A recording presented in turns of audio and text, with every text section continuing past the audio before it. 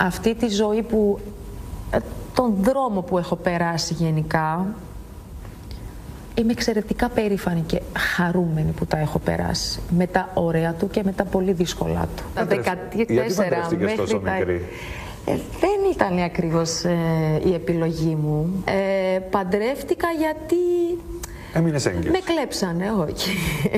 δεν, δεν επιτρεπόταν αυτό.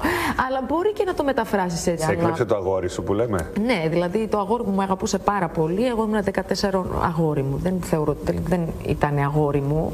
Ήμουν κορίτσι του. Εγώ δεν ήθελα ούτε να παντρευτώ, ούτε ένιωθα ερωτευμένη και καμία σχέση. Ήμουν γενικά ένα παιδί που ασχολιόμουν πάρα πολύ με οτιδήποτε μπορεί να ασχοληθεί ένα παιδί και καθόλου με τα αγόρια. Τύπου δεν είχα ερωτευτεί, δεν ήμουν από τα κόριτσια που ξέρεις, λίγο είχαν αυτή τη τάση να παίζουν λίγο με το τραγουδούσα. Έκανα διάφορες δραστηριότητες ναι. και πολλές. Ήταν σαν απαγωγή; όχι, πρόσεξε. Θα σου πω και θέλω να με καταλάβεις όμως. Ναι, ναι, είναι πολύ λεπτό αυτό το πράγμα. Ναι. Γιατί δεν θέλω ο κόσμος να νομίζει ναι. κάτι διαφορετικό από ναι, αυτό. Γι' αυτό και εγώ. Δηλαδή, Ερωτεύτηκε το αγόρι. Ναι. Εσύ όμω όχι. Όχι, αλλά φίλοι ήμασταν. Έτσι. Ναι. Φιλική σχέση είχαμε.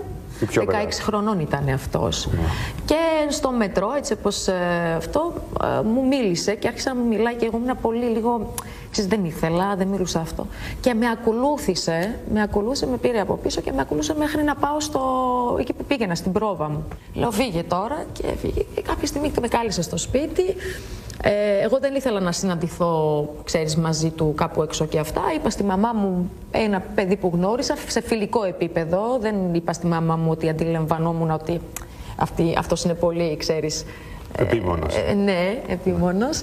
Ε, και έτσι ξεκίνησαμε να κάνουμε παρέα. Δηλαδή, κάναμε δύο μισή μήνες παρέα. Ε, κάποια στιγμή η μαμά μου πήρε χαμπάρι ότι αυτός το βλέπει κάτι πιο σοβαρά. λίγο πιο σοβαρά ναι. και του μίλησε και του είπε κοιτάξτε παιδί μου είστε παιδιά ακόμα μην είναι αυτό δεν σας απαγορεύει κανείς να βλέπεστε και αυτό αλλά ναι. ηρέμησε γιατί έγινε λίγο ξέρεις, και λίγο πιεστικούλης ας πούμε θα ερχόταν όταν τελείωνα εγώ την ε, πρόβα ή το σχολείο και θα τον έβλεπα ξαφνικά έξω. Με άγχωνε λιγάκι αυτό ναι. βέβαια, γιατί όταν δεν είσαι και ερωτευμένη.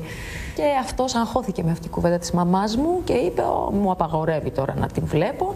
Και με παίρνει μια μέρα στο σπίτι και μου λέει: Σε παρακαλώ, μπορείς να βγεις έξω να σου μιλήσω τελευταία φορά. Γιατί η μαμά μου, μου μίλησε έτσι μαμά και ναι. μαμά σου και δεν θέλω, μου λέει, να ξανά έρθω σε σένα.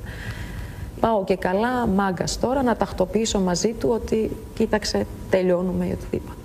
Ε, και με έπιασε στο μπλα μπλα, είχε έρθει με αμάξι με τους φίλους του ε, και βασικά με έπεισε να μου πει ότι είναι, μου λέει μην καθόμαστε τώρα στο δρόμο και μας ναι. ο κόσμος, να πάμε κάπου να κάτσουμε να μιλήσουμε ανθρώπινα.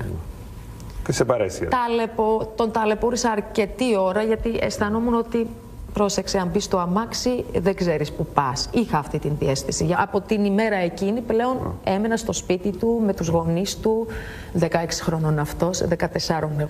Ε, και επί της ουσίας παντρευτήκαμε τον Απρίλιο, Φλεβάρι. Κλε... Με έκλεψε εκλεφτικά. Επί της ουσίας έμεινα έγκυος σε δύο εβδομάδες αφού Ήμουνα στο σπίτι. Και πόσο, πόσο καιρό μείνατε μαζί, Έξι χρόνια. Αλλά κάποια στιγμή κατάλαβα ότι αυτή η ζωή δεν μπορώ να την, δεν πάει πουθενά. Δεν μπορώ να την αντέξω.